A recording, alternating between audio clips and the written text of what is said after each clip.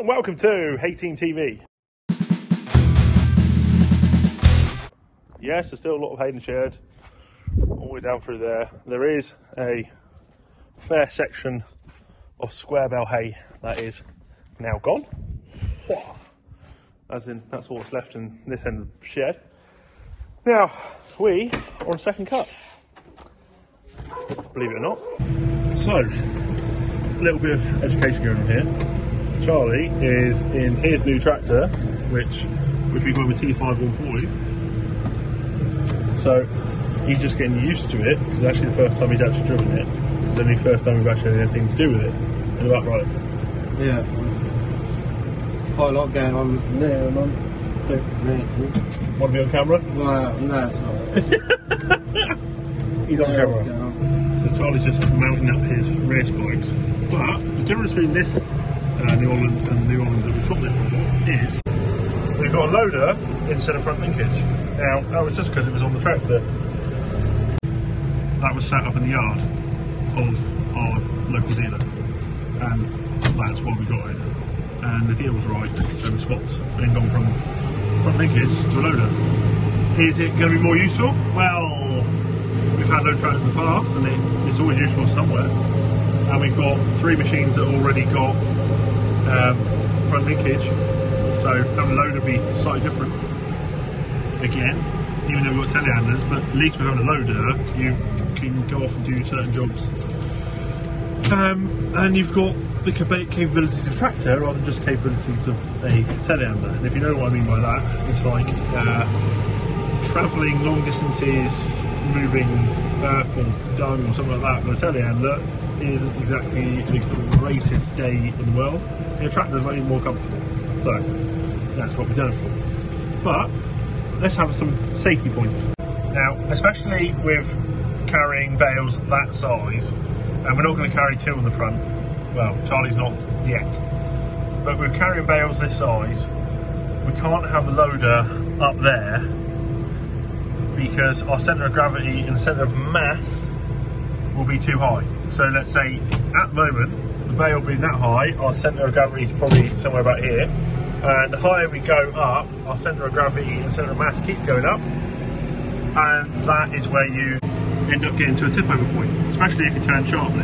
So if you turn sharply and your centre of mass in gravity is pretty high, then you end up tipping over sideways. So keeping everything down low, like so, is very important. I know you're thinking, but that bale back there is but there's two of them and they're on the back axles which are big wheels.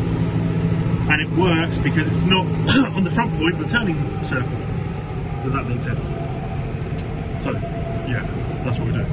But anyway, we're on second car and we're going to get on with this.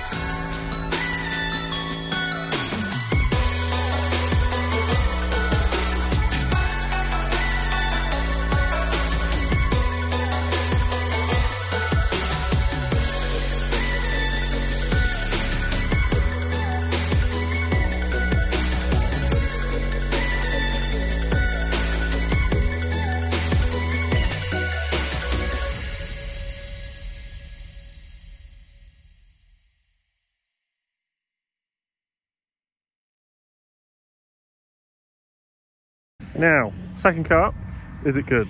Well, it's not great, but, but at least we have some. So, you know, positives and all. So here's a sward sitting probably six inches high. Not, not great. Grass length was about five to six inches, maybe seven inches in the odd spot, which is again no fur, uh, no rain most of this year. Not bad, like not bad. At least at least we have some.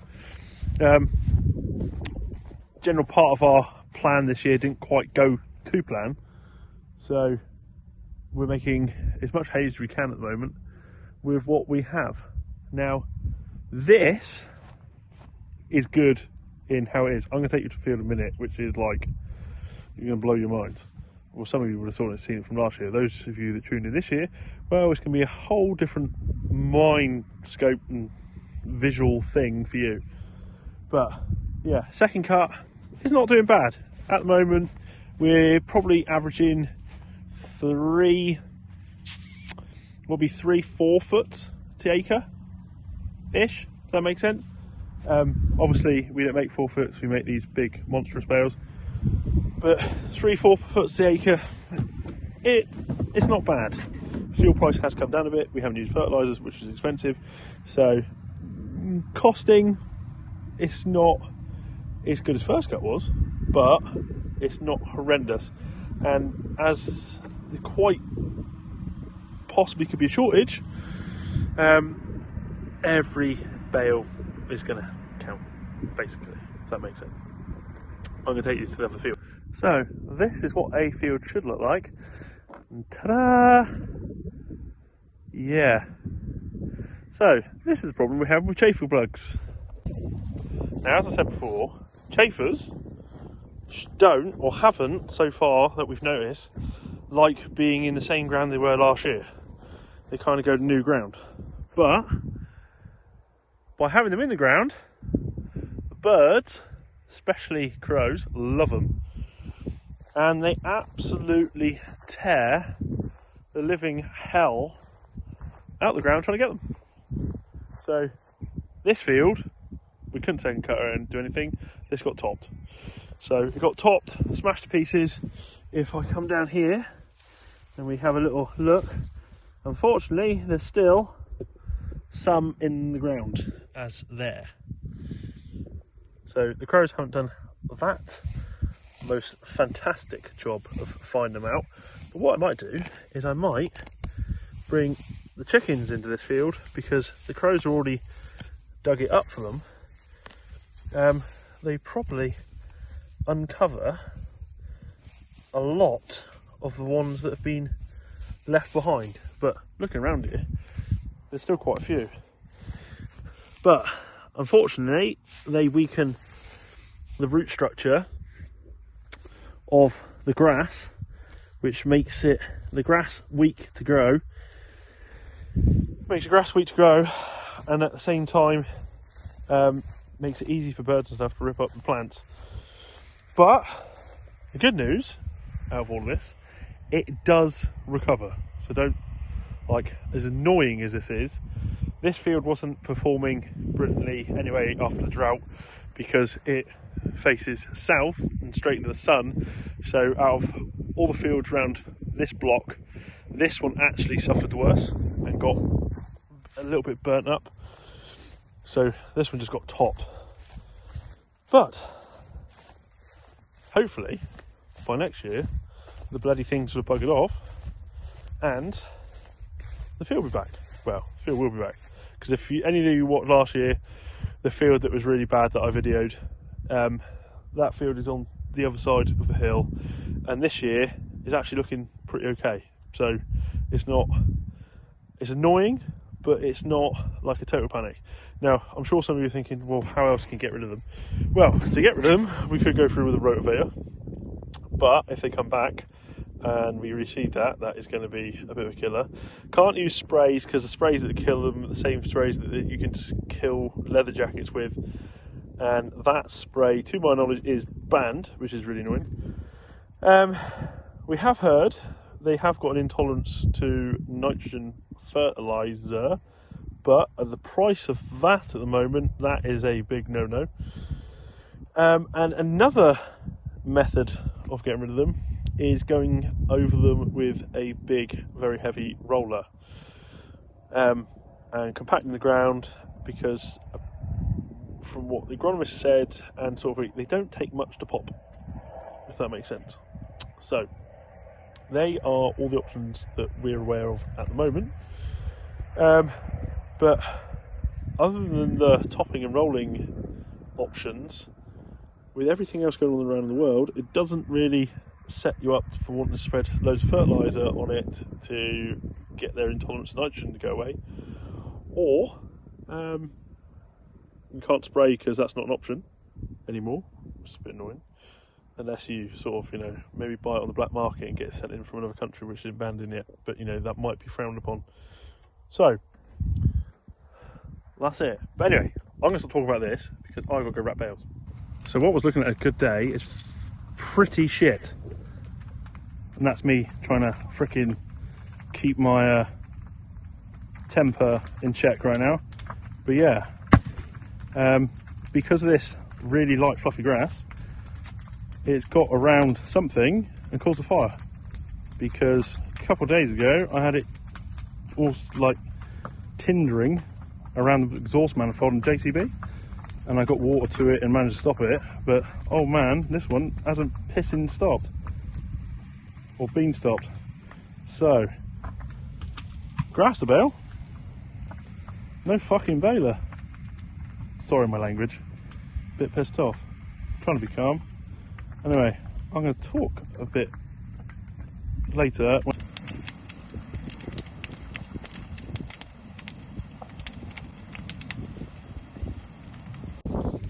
I'll calm down a bit now.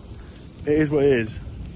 Just stopped this little bit of fire carrying on down the road because he was sort of trying to grow. But yeah, that is shit. What's happened? Don't know yet. Haven't spoken to the old man. But with everything that's happened this year, fires on farms is an absolute fucking shitter. Accidents can happen really, really badly. Doesn't matter uh, how freaking cautious we all are, shit like that happens. And then on top of it, you know, it's not as hot as it was even in the summer, but this super fluffy stuff getting in.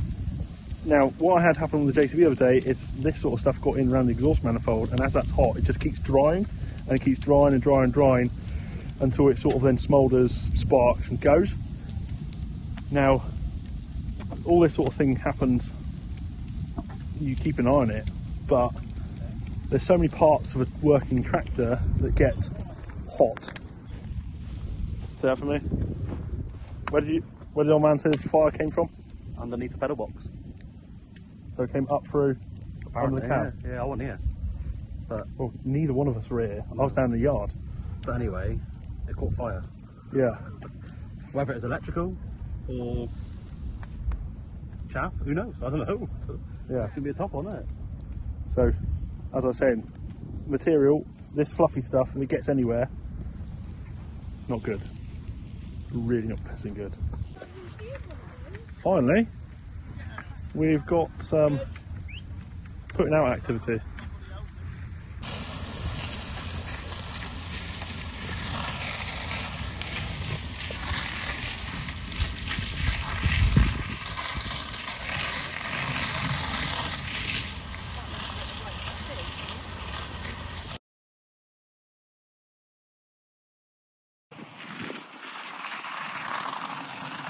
I think less than 10 minutes, 15 minutes, whole thing's gone. Incredible how fast these things can just go?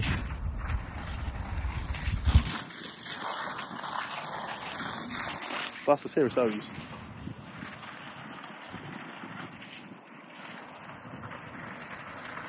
But very much a sad day.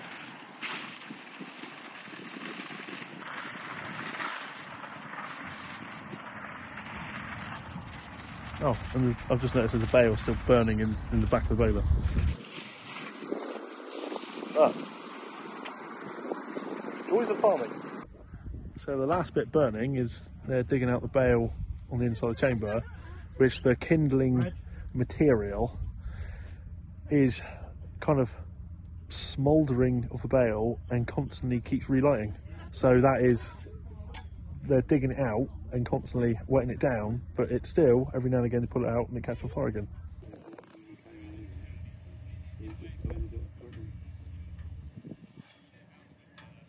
Oh yeah, yeah, yeah. Tracker. The tracker un- underneath the cab, underneath the cab. That is, So this bale is still smouldering away. So we've got got the other telehandler and lifted her up so we get the bale out so they can put everything out a lot faster.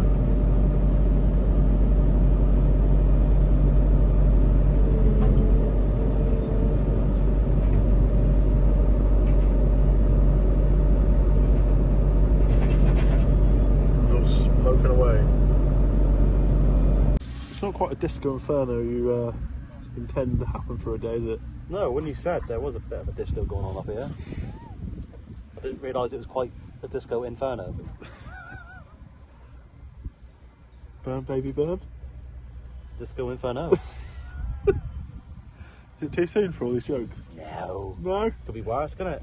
Reg could have been in the tractor. Are you a fire starter? Oh hell yes. Definitely not a fire. Definitely not a fire bloody um, Twister butter fence. outer. but no, sad. I got to admit, I did like that tractor. Yeah. She was a lovely tractor, but hey ho, your dad's all right. It's the main thing. Yeah. Um, this could be replaced. It makes the odds. I didn't ever think I'd ever see a tractor go up on this farm. No. But here we, hey, life's a funny old thing, isn't it? Doesn't matter if you've got old gear or new Doesn't matter. gear. It goes up in smoke. We've proved this today. Yeah. But I'm going to wrap bales. You're going home. Yeah. Uh, on this note, I am not recording more tonight because I just want to chill out and wrap some bales. I hope you all understand. Um, thank you very much for watching. If you haven't yet done so, Please subscribe. and It's been so long, mate. You've done it all wrong. You've done it all wrong. what have I done wrong? You haven't. If you want to find us on, and I go Snapchat, Twitter, Facebook, Instagram, Oh, well, that's not my fault. We're out of practice. we are way out of practice. Because you won't let me come on YouTube anymore. Let's just start those rumours right up again, shall we? Oh no! The amount of grief I've had already. Yeah, let's start it again. Come on! There is nothing to do with me saying he can't be YouTube. It's not what everyone else. Oh. Not what everyone's been telling me, mate. Apparently, you're um, you've been keeping my YouTube money from me. They know more. They know more than they know more than me. Oh, should we, should we rip this this subject in our next video? The next video, yeah, Yeah. we're going to come out why, why I haven't been on camera, and will I be back? Who knows? But we're going to go through why I'm not on camera. Will I be back? Do me and Justin like each other? Who knows? Find out in the next episode. I can't stand it. I hate him. See you next one. Bye.